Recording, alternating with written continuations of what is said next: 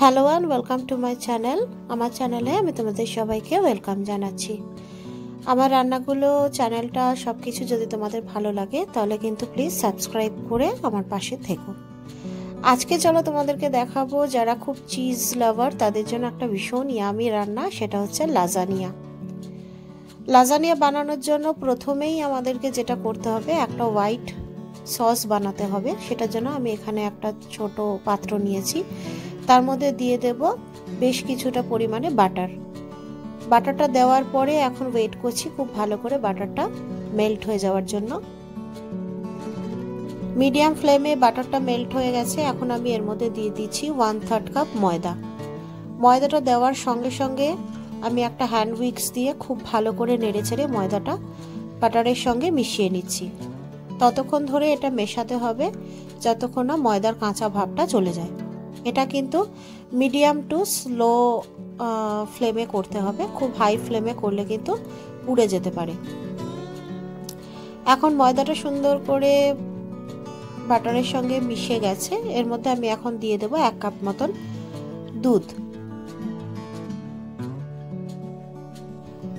এটা যেভাবে করতে হবে, এক হাতে নাড়াতে হবে আর এক হাতে অল্প অল্প করে কিন্তু দুধটা দিতে হবে। এবং খুব তাড়াতাড়ি সঙ্গে সঙ্গে ভালো করে মিক্সড করতে হবে, কারণ যদি লাম্পস হয়ে যায় তাহলে কিন্তু সসটা তৈরি করা যাবে না। অ্যাজ ইউ ক্যান সি খুব ভালো করে কিন্তু আমি লাম্পস যেটুকুও হয়েছিল সেটা আমি এখনই ভেঙে দিচ্ছি। এখন খুব সামান্য নুন আমি এটার মধ্যে অ্যাড করে দিচ্ছি। দিয়ে দিচ্ছি সামান্য পেপার পাউডার আবারও সব কিছু ভালোভাবে মিশিয়ে দিলাম। এই জিনিসটা কিন্তু খুব তাড়াতাড়ি লাম্পস হয়ে যায় আর তলায় ধরে যায়। সেই জন্য একদম স্লো ফ্লেমে ভালো করে নাড়িয়ে চাড়িয়ে আমি এটাকে একটা ক্রিমি কনসিস্টেন্সিতে আনব। এখন দেখো জিনিসটা অনেকটা শুকিয়ে এসছে। আমি তাই জন্য আরও সামান্য একটু দুধ অ্যাড করে দিয়েছি। এরপরে আমি যেটা দেব one third cup fresh cream আমি অ্যাড করে দিলাম এবং গ্যাসটা বন্ধ করে দিয়েছি। ক্রিমটা দেওয়ার পরে পাত্রটা আমি গরম জায়গা থেকে সরিয়ে নিয়েছি আর হোয়াইট সসটা কিন্তু একদম রেডি হয়ে গেছে। এখন চলো আমরা দেখে নিই লাজানিয়া পাস্তা তৈরির মেন উপকরণ যেগুলো। এখানে আছে লাজানিয়া পাস্তা শিট এগুলো যে কোনো সুপার মলেই কিন্তু অ্যাভেলেবেল তার সাথে এখানে আছে টমেটো পিউরি এটা কিন্তু টমেটো কেচাপ নয়। কেচাপ এখানে দেওয়া যাবে না। টমেটো পিউরি অ্যাড করতে হবে। আমি রান্নাটার সময় এটা ব্যবহার করব যখন, তখন বাড়িতে টমেটো পিউরি বানানোর নিয়মটা আমি বলে দেব। এখানে আছে পর্ক মিট কিমা করা। এটা তোমরা পর্কের জায়গায় যে কোনো রকম মাংস বিফ অথবা চিকেন যে কোনো কিছু ব্যবহার করতে পারো। আছে একটা মিডিয়াম সাইজের পেঁয়াজ কুচি আর সামান্য রসুন ক্রাস্ট করা। তার সঙ্গে লাগছে দুই ধরনের চিজ একটা হচ্ছে পারমেজিয়ান চিজ আছে আর একটা হচ্ছে মোজারেলা আছে। দুটো গ্রেটেড চিজ কিন্তু নিতে হবে। এখন একটা বোলের মধ্যে আমি দুই ধরনের চিজকে ঢেলে নিচ্ছি এবং খুব ভালো করে চিজ দুটো মিশিয়ে নেব। যাতে প্রত্যেকটা লেয়ারে চিজের দুটো চিজেরই তো একটা ইন্ডিভিজুয়াল স্পেল আছে, সেটা খুব ভালো করে যাতে পাওয়া যায়। এখন ফার্স্ট স্টেপ যেটা, সেটা হচ্ছে একটা ফ্রাইং প্যানের মধ্যে আমি বেশ কিছুটা বাটার নিয়েছি আর মাংসটা আমরা রান্না করে নেব। তো বাটারটা একটু গলে যাওয়ার জন্য ওয়েট করব। বাটারটা সুন্দর করে গলে গেছে। এখন আমি পেঁয়াজ আর রসুনটা দিয়ে দেব আর হালকা করে ভেজে নেব। খুব লাল করে কিন্তু ভাজার কোনো দরকার নেই।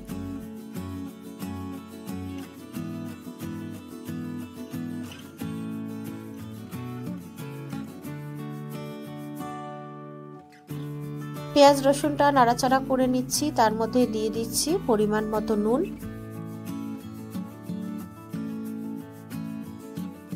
মোটামুটি হালকা ভাজা হয়ে গেছে, এখন আমি কিমা করে রাখা মাংসটা দিয়ে দেব। খুব ভালো করে নাড়াচাড়া করে আমি যেহেতু পর্ক মিট দিয়ে রান্না করছি, পর্ক মিট রান্না হয়েছে কিনা বোঝার সব থেকে সহজ উপায় হচ্ছে, যত রান্না হবে কালারটা কিন্তু তত ডার্ক হয়ে যাবে। এই যে লালচে ভাবটা, সেটা চলে গিয়ে একদম খয়েরি একটা কালার হয়ে যাবে। খুব ভালো করে দেখো, ভাজা হচ্ছে, যত ভাজা হবে, তত কিন্তু কালারটা চেঞ্জ হতে থাকবে। এখানে আমি দিয়ে দিলাম সামান্য চিলি ফ্লেক্স দিয়ে দিচ্ছি পেপার পাউডার আর এটা হচ্ছে বিভিন্ন রকমের ইতালিয়ান মিক্সড হার্বস আছে এটার মধ্যে। সব রকমের হার্বস মিক্সড করা আছে। এই সব কিছু ফ্লেভারের জন্য দিলাম, খুব ভালো করে নাড়াচাড়া করে নিচ্ছি। আরও বেশ খানিক্ষণ কিন্তু মাংসটা রান্না হবে।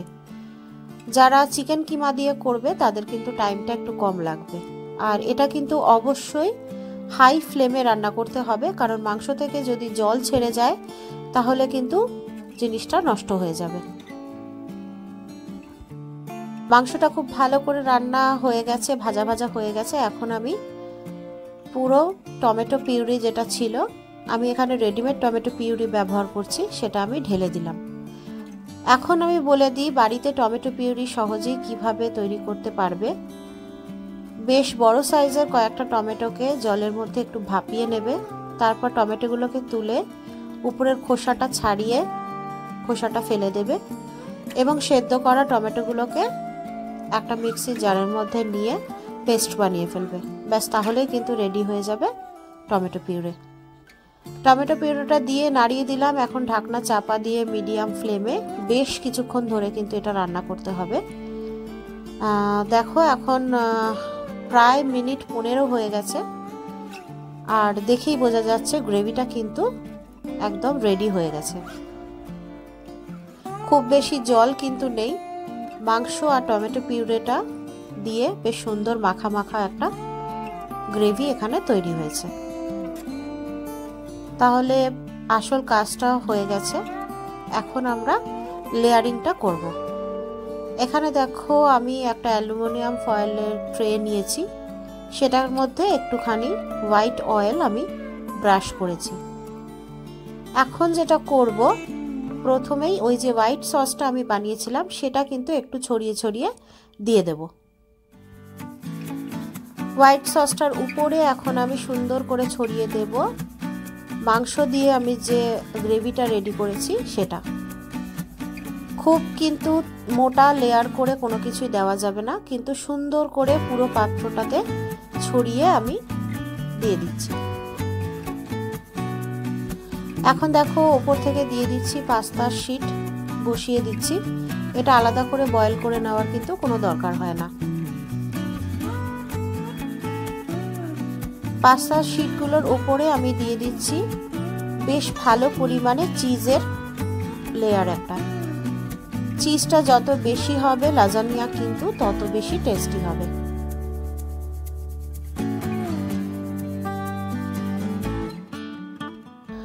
চিজের পরে আবারও একইভাবে লেয়ারটা রিপিট করব।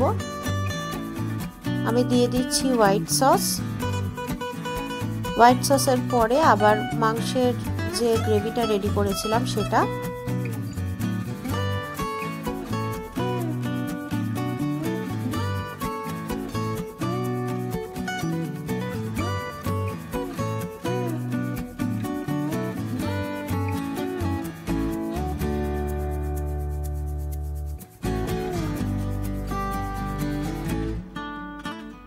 আমার পাত্রটা ডেপথ যেহেতু খুব বেশি নয়, তাই জন্য পাস্তা দুটোই লেয়ার দেওয়া গেছে। তোমরা যে যেরকম পাত্র ব্যবহার করবে, সেই অনুযায়ী তোমরা লেয়ারিংটা কিন্তু করতে পারো।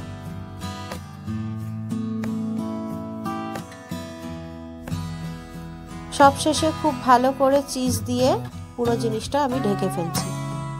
সবসময় খেয়াল রাখতে হবে টপ লেয়ার কিন্তু থাকবে চিজের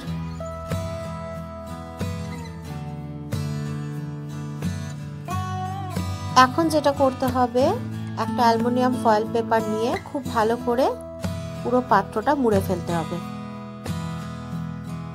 প্রথম টোয়েন্টি মিনিট এইভাবে বেক করতে হবে, কারণ তাতে যেটা হবে ভেতরে পাস্তার শিটটা যেটা কাঁচা আছে সেটা সেদ্ধ হতে হেল্প হবে। এখন দেখো আমি প্রি হিটেড ওভেনের মধ্যে লাজানিয়ার পাত্রটা ঢুকিয়ে বেক করতে বসিয়েছি for twenty minutes two hundred ডিগ্রিতে